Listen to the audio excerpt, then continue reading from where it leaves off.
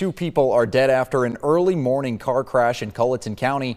Officials with the South Carolina Highway Patrol say the collision happened a little after 9:30 this morning, about a, a mile north of Walterboro.